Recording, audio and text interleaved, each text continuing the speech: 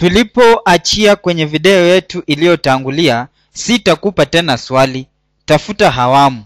Tunajaribu kuepuka matumizi ya maneno mengi yasiyokuwa na maana. Tuna ujasiri kuwa asilimia 95 fursa idadi wastani ambayo ni pa ambayo ni kitu sawia na wastani wa sampuli usambazaji ya sampuli wastani. Kwa hivyo kuna asilimia 95 fursa kuwa wastani halisi au acha niweke hii hapa. Kwa hivyo hiki ni kitu sawa na wastani wa sampuli usambazaji ya sampuli wastani imo katika hii awamu. Kufanya hii acha nirejelee baadhi ya mawazo muhimu. Ni upi uwezekano kuwa ikiwa nitachukua sampuli a halafu nitachukua wastani wa hiyo sampuli?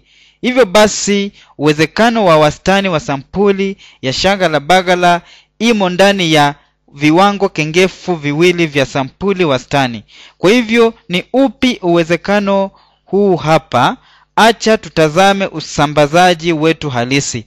Hivyo basi huu ni usambazaji wetu na huu hapa ni wastani wa sampuli na tutaandika hii kwa rangi ya buluu ili kuonekana inavyostahili.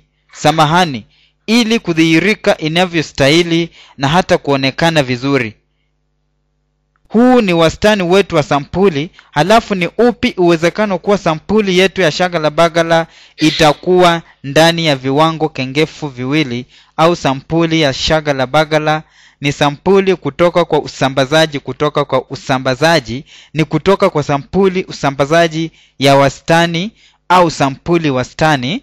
Kwa hivyo hiki ni kiwango kengefu kimoja. Hiki ni kiwango kengefu kingine na hiki pia ni kiwango kengefu kwa ujumla ikiwa hujamaliza kuhifadhi haya akilini ikiwa una usambazaji wa kawaida uwezekano wa kuchukua sampuli kati ya viwango kengefu viwili ni 95 au ukiwa unataka kuwa na uhakika ni asilimia 95.4 na hiyo lazima ijulikane ni asilimia. Lakini unaweza sema tu ni karibu na asilimia 95 na hiki ndicho kinachojaalisha tunahitaji kukisia kiwango kengefu na hata unaweza sema kuwa ikiwa unataka itakuwa asilimia 95.4 lakini kwa ujumla viwango kengefu viwili asilimia 95 kuwa watu watalingana maelezo haya ni sawia na uwezekano kuwa wastani wa sampuli usambazaji imo ndani ya viwango kengefu vitatu vya sampuli usambazaji ya x ambayo pia inaenda kuwa sawia na nambari sawa ya asilimia 95 nukta nne. Kwa sasa tunajua wastani wa sampuli usambazaji. Kitu sawia na wastani wa idadi usambazaji ni kitu sawia na kigezo pa idadi uwiano ambayo ni moja hivyo basi hiki ni kitu sawia na idadi wastani. Hivyo basi haya maelezo hapa tunaweza wakilisha haya mae, maelezo samahani na paa kwa hivyo uwezekano huo wa uwezekano kuwa paa imo ndani ya viwango kengefu viwili vya sampuli usambazaji ya x ni asilimia 95.4 hata hivyo hatujui hii nambari hapa lakini tumekadiria tu. Kumbuka makadirio yetu bora ya kiwango kengefu halisi acha idadi gawanya. Samahani. Kumbuka makadirio yetu bora ya kiwango kengefu halisi cha idadi gawanya na kumi. Tunaweza kadiria kiwango kengefu halisi cha idadi na sampuli kiwango kengefu. Hivyo basi nukta tano. Nukta tano gawanya na kumi makadirio yetu bora ya kiwango kengefu ya sampuli usambazaji ya sampuli wastani ni sufuri nukta tano. Sasa tunaweza sema uwezekano kuwa kigezo pa uwiano wa idadi imo ndani ya mbili zidisha na.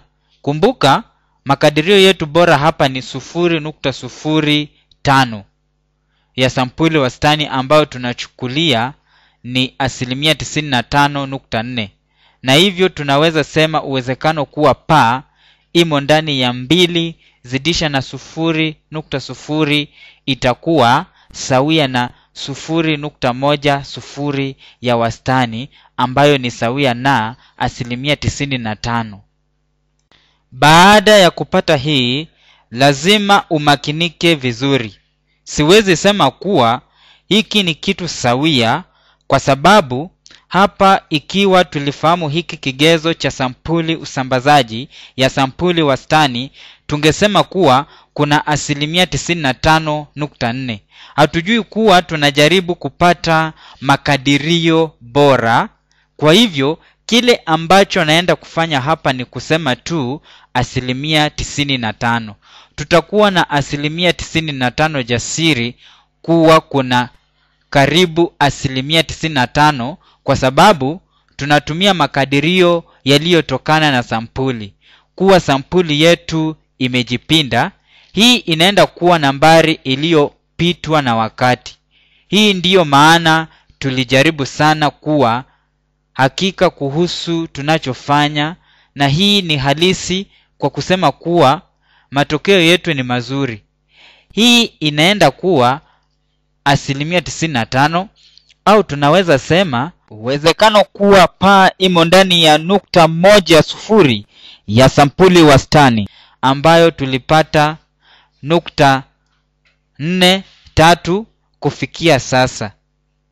Nukta moja na nukta nne tatu hii ina maana kuwa tuko kati ya sufuri nukta nne tatu ongeza au ondoa nukta moja inakaribia asilimia tisini na tano. Ningependa uelewe vizuri hapa. Kila kitu nilipoanza kwa hudhurungi manjano na rangi hizi zingine zote najaribu tu kuelezea tena kitu sawia ndani ya hii. Na ili kulegeza kidogo nilipolenga kiwango kengefu cha sampuli usambazaji kwa makadirio na hii ndiyo maana hii inakuwa. Siwezi kuiwekea ishara ya usawa kwa haraka tuna asilimia 95 uhakika na tunaweza sema nukta nne tatu ondoa moja ni nukta tatu tatu. Na ukiandika hii kama asilimia ni asilimia thelathini na tatu na ikiwa tutaongeza tutapata nukta tano tatu ambayo ni asilimia hamsini na tatu. Tuna asilimia tisini na tano jasiri. Hatusemi kuwa uwezekano wa uwiano halisi ni asilimia 95 lakini asilimia 95 jasiri kuwa uwiano halisi ni kati ya asilimia 33 na tatu na asilimia 53 na si asilimia 55 kama inavyoonekana kwenye video hii kuwa paa ni kati ya hii. Kwa namna nyingine tumeona hii katika usorovea uliofanyika. Watu husema tumefanya usorovea na tumepata asilimia 43 watampigia mgombeaji ba alafu asilimia 57 watampigia mgombeaji a alafu tutaweka nafasi ya kosa na hata kwenye runinga ikiwa nafasi ya kosa nafasi ya kosa ni namna nyingine ya kueleza ujasiri wa hawamu. Na kitu na katika hali hii ni asilimia kumi ambayo inamaanisha kuna asilimia 95 hawamu jasiri. Ukienda kuzidi chanya au hasi asilimia kumi kutakuwa au kutoka kwa hiyo thamani na ningependa kusisitiza huwezi sema kuna asilimia 95 fursa kuwa matokeo halisi yatakuwa ndani ya asilimia kumi ya hii kwa sababu tulikadiria tu kiwango kengefu cha sampuli wastani.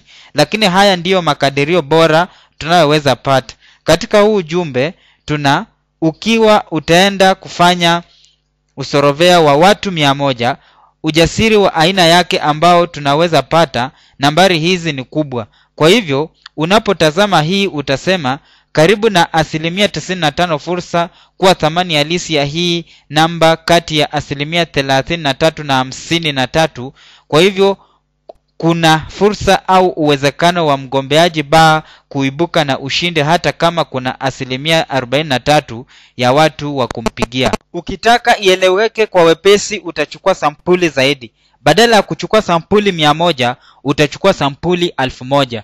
Kwa hivyo utafanya utachukua hii nambari hapa halafu ugawanye na sa, kipeuo cha alfu moja badala ya kipeuo cha mia moja. Kwa hivyo utagawanya na thelathini na tatu alafu tena ufikirie nambari. Saizi ya kiwango kengefu itaenda chini na kwa hivyo umbali wa viwango kengefu viwili vitakuwa nambari ndogo na kwa hivyo nafasi ndogo sana ya kosa. Na ukiangalia kwa karibu unaweza tabiri atakayeibuka na ushindi na hata kama wagombeaji wachache watapiga. Asanteni sana kwaherini